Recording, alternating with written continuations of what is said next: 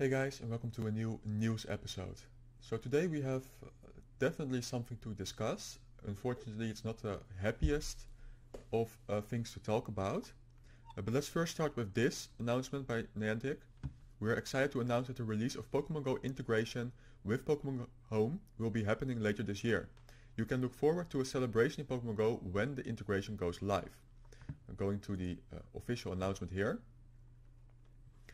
Uh, we know that you've been eagerly awaiting a status update on this feature. We're excited to announce that Pokemon Go integration with Pokemon Home will be available later this year. So as the year is coming to a close uh, pretty soon, we know that this feature is coming in the next few months. So it's going to be uh, happening soon. When this integration goes live, limited time events will be happening in Pokemon Go, featuring particular Pokemon. Notice the word events, multiple, you will be able to activate the mystery box after you send a Pokemon to Pokemon Home from Pokemon Go. And if you open the mystery box during the celebration event, you'll have a chance to encounter a shiny Meltan. Okay, so you will need to have Pokemon Home. Um, if you already have that, then it's great. Um, especially for the people who don't have Pokemon Let's Go. Uh, if you do have Pokemon Home, then this is going to give you a new possibility to get a shiny, uh, sorry, to get a Meltan box. And as they are stating here, uh, it would be best to wait with opening that box until the celebration event goes live, because as soon as the celebration event goes live, there will be an event where Shiny Meltan is possible. If you would open the box one day before the event, you will have a cooldown, and therefore you might miss out on one box during the event. Stay tuned for more information on the celebration event and how to send the Pokemon that you've caught in Pokemon Go to Pokemon Home. Alright, so that is one uh, important update. But now we're going to the next one. Uh, they are making some changes to temporary bonuses. So we know the temporary bonuses related to the COVID situation that we've been having for several months. So let's go through it. Over the past few months, we've been making temporary changes to Pokemon Go to adapt to the changing global environment. Some of these changes will remain implemented for the foreseeable future, such as the ability to raid remotely, changes to the Go Battle League, uh, basically uh, comes down to not having to do any walking. You can just play your sets without walking. And the increased distance at which you can spin Photodisc at gyms and Pokestops.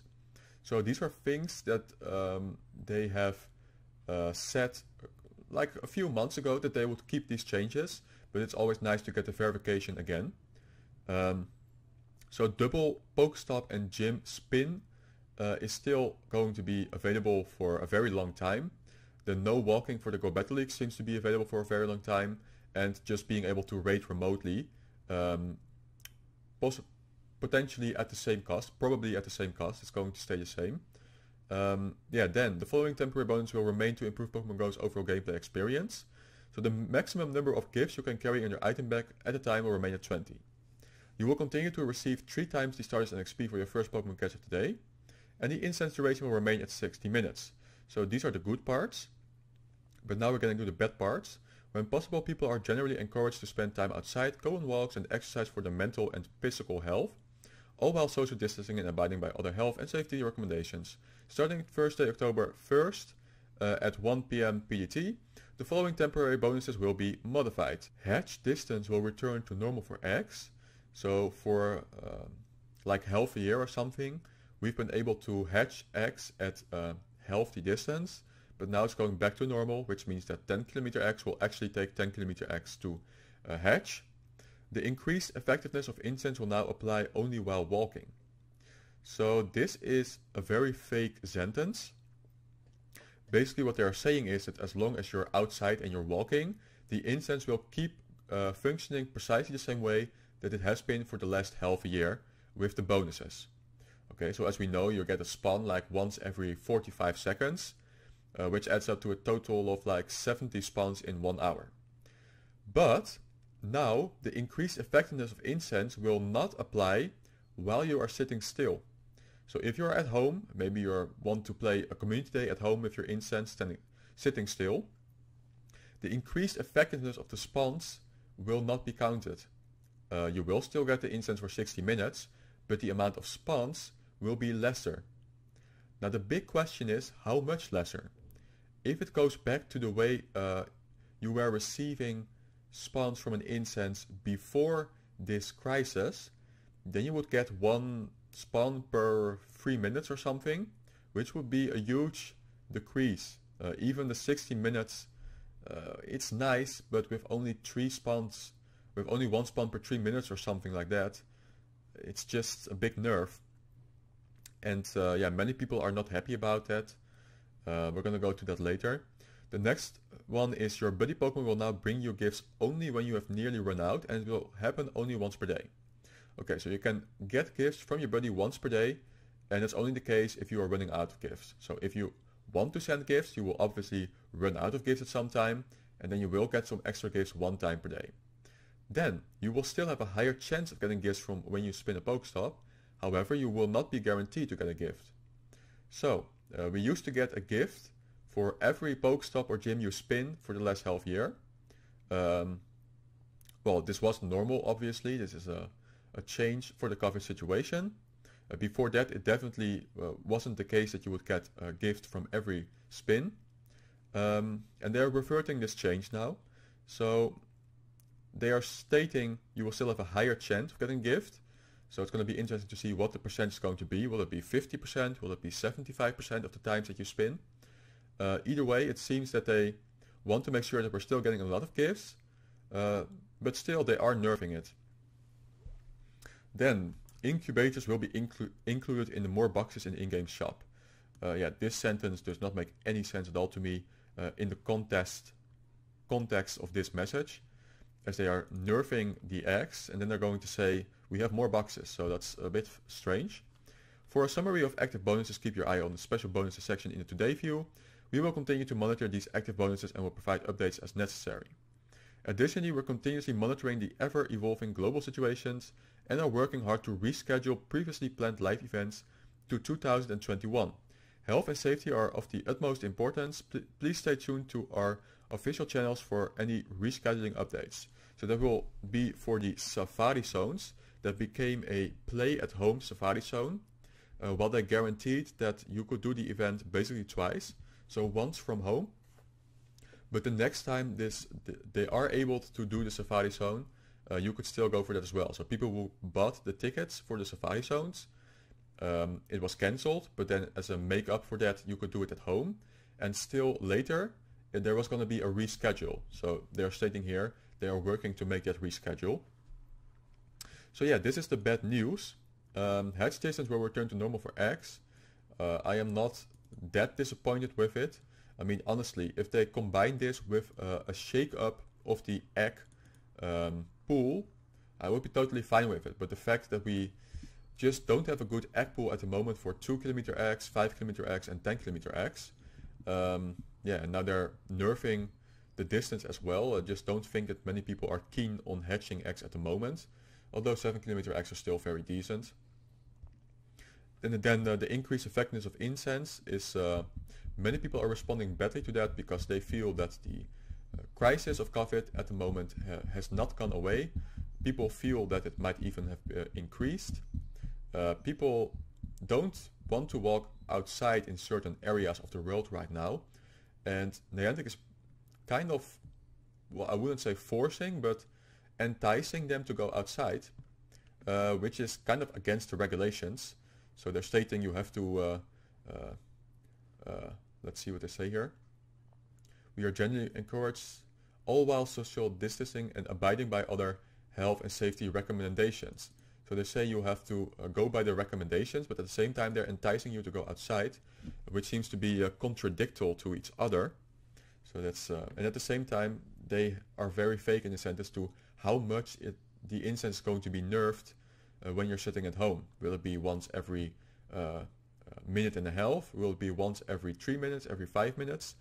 they need to clarify this. And then I think the less gifts is going to be the least of our problems.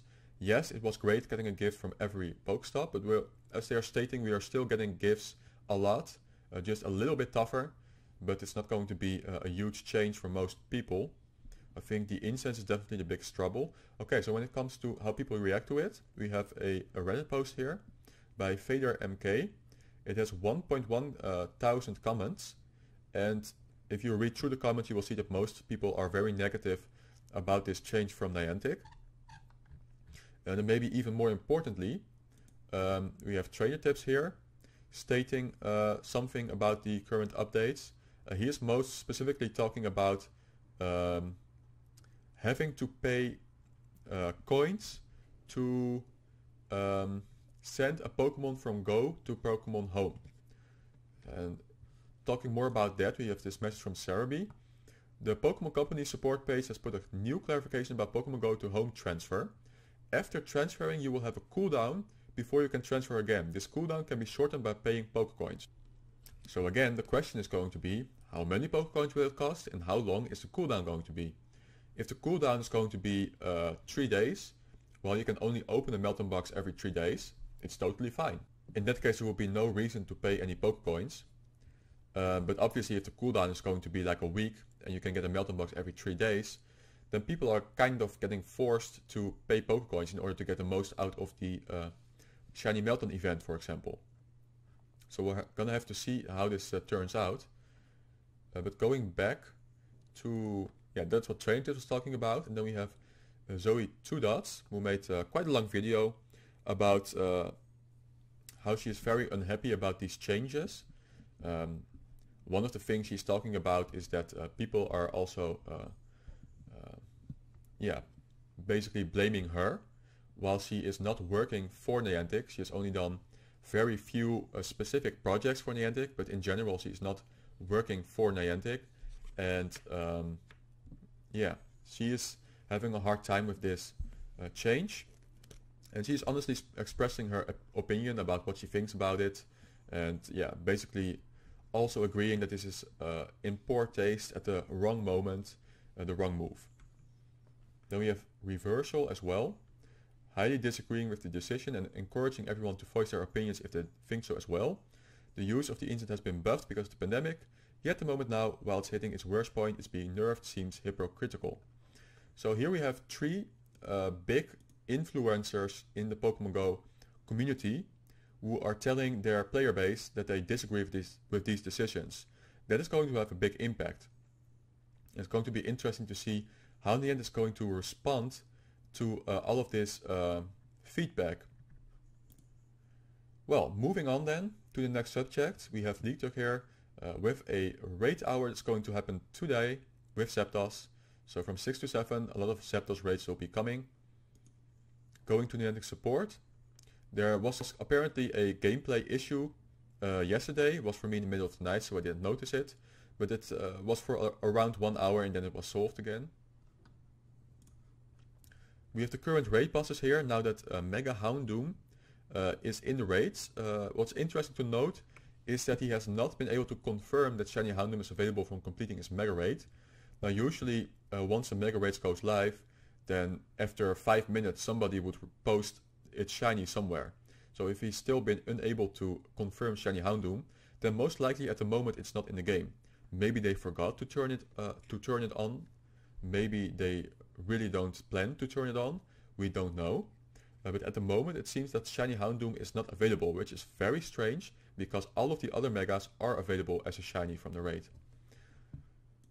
Then we have uh, this message from Serebii that we just went through. We have an article here from um, the Silph Road. Um, it's about the souvenir skipping stones. So I don't think that souvenirs is one of the uh, most important uh, subjects in Pokemon Go, one of the subjects that most people care about. But nevertheless, we're going to go through it quickly.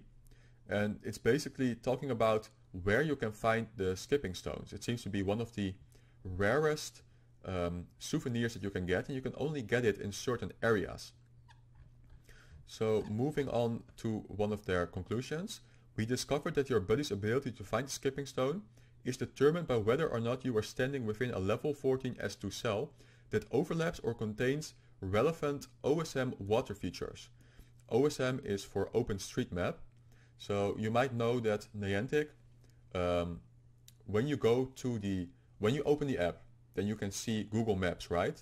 An overlay on Google Maps. However, Google Maps is not where Niantic is getting all of its data from.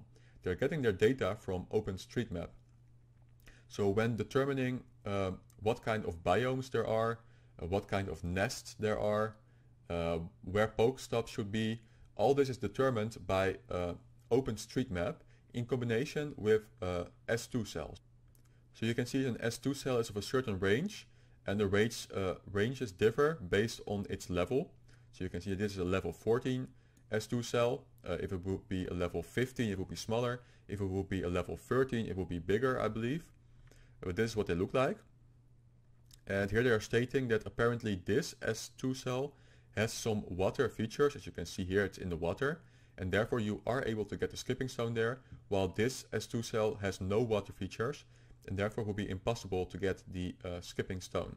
So in order to get the skipping stone you would need to be in the right um, um, S2 cell at the moment that you receive a souvenir and then you have a chance to get a skipping stone. So now you know a little bit better how that works. Uh, other than that I don't think it's too interesting so we're going to go to the next subject. Uh, besides temporary bonuses, Niantic actually improved the game this year. So this is another follow-up of how the player base is not happy uh, about uh, what Niantic is doing. And there, this Blobs link is e taking it even further. It's not even talking about this decision by Niantic, but it's basically talking about the whole year of Niantic. Again, it's a pretty big Reddit post, 236 comments, uh, basically about people being unhappy about Niantic. So we know that Pokemon Go to Pokemon Home integration is coming by the end of the year. Uh, once that happens, if you do have Pokemon Shield or Pokemon Sword, you can get a Gigantamax Melmetal in there. Then finally we have new info, Verizon shirt and mask have been pushed. And as Sven Paradox is saying here, it is not a pirate hat, uh, it is a mask. okay, so that's everything I want to share for today. Unfortunately, it's not the happiest information that I could give. Uh, let's see how Niantic is going to respond as most of their information has been a bit fake. So surely they're going to update it soon. And when they do, uh, we're going to talk about it. I will see you in the next episode.